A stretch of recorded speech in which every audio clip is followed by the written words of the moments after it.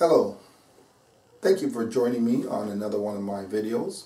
My name is Cliff and I'm one of those people here stating that the Lord is shortly to return. This information was given to me by the Holy Spirit himself, basically teaching me by all the things that are out there in the world, the truths about what is real and what is not real, what is invisible and real, and the things of the Bible. My education comes from the things in the world and uh, Prophet T.B. Joshua and my pastor, Pastor Bob Johnston, Global Kingdom Ministries. Um, these two were uh, taught to me or told to me that I should listen to by the Holy Spirit. Okay, now I'm doing a series of videos and I call this series 99 Problems But My God Ain't One. I'm running down from 99 all the way down to number one on what our issues are related to the world and to our God, basically. I'm calling this one Number 94 are emotions, human emotions. Okay, the reason why I'm doing this uh, human emotions at this point is our human emotions basically is something that is connected to everything in the world.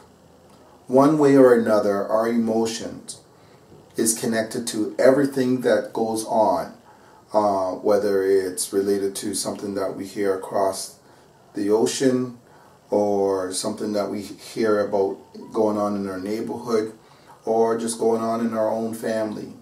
There is a, a, a connection one way or another. Um, maybe it, it, could be a big connection or a small connection. Um, when we use numbers to measure things, um, we're sort of deceiving ourselves. Um, a lot of things we try to measure on a basis of 1 to 10 or 1 out of 100.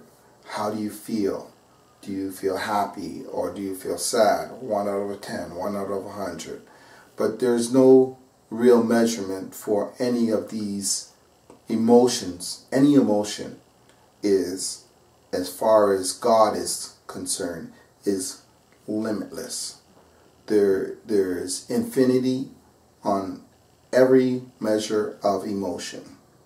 Uh, love, hate, um, pride, um, self-indulgence, um, our self-esteem, um, every emotion that there is that we are that we have that we have as human beings is related to the world on every level in one way or another. And that emotion is supposed to sit is is supposed to stay connected to the Lord Almighty. We're supposed to stay in love with God. That's the first thing and that's uh, the ultimate thing that we were supposed to be as human beings. But um, what the Lord told us not to do, which is um, don't be of the world. Uh, go live in the world, but don't be of the world. Uh, we are caught up in doing. Um, this is how our deception, our biggest fault that is going on in the world today, has got us to this point. The Holy Bible is a book that teaches us that how we were supposed to be, how we were supposed to live. There's no way that you can say that you, if we all lived by the instructions of the Holy Bible, that we would be in this complete mess of uh, a world that we are in right now.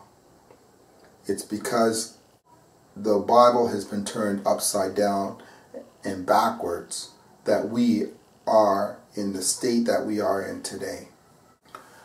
The Holy Bible is a book for people that are that know that they're supposed to love Jesus Christ and God and respect him in his desires, loving each other. Uh, by loving God, you cannot kill one another. You cannot hate one another. You cannot judge one another. These are the words of the, the Lord Almighty. As far as the book is uh, has told us, these days would come. In the end, these days would come. The days would return like the days of Noah. Okay, and this is where we're at. Every human emotion that we have is the key to what Satan wants to bring down in one way or another. Our, our emotion, our belief, our faith. He wants to attach himself to. One of the, his greatest ways in doing this is in the deception of of the physical. Um, men and women have have only have gotten to a point where they only believe in the things that they can feel, touch, see, smell, or hear. Meanwhile, the things of the Bible teach us these are not even close to the things of the world. Uh, Jesus was talking to one of the Pharisees and he says, How could you understand? How could you not understand me when I'm teaching you the things of this world?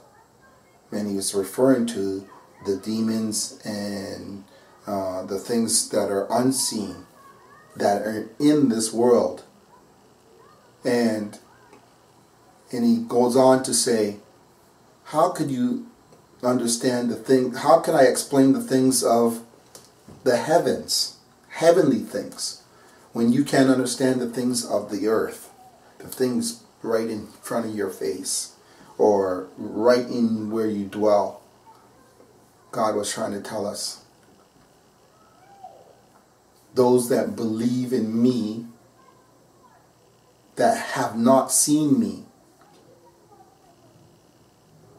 Blessed are those, as he was telling Thomas. Thomas, a disciple that walked around with him for years and saw the things that he did back and forth throughout the, this country and that country. And he told him what was about to happen he would die and then be risen again. After all the miracles he did and all the things that he showed he was going to do and he told him, Thomas had to physically touch him. Thomas still had to physically touch him. Like, like Jesus was lying to him when he told him that I will die for you and I will be risen on the third day. But Thomas did not believe. Our emotions, our love, is the key to what's going on in this world. God said these days will come where when the enemy will be drinking the blood of the saints. And this is what we're at. We're at this right now.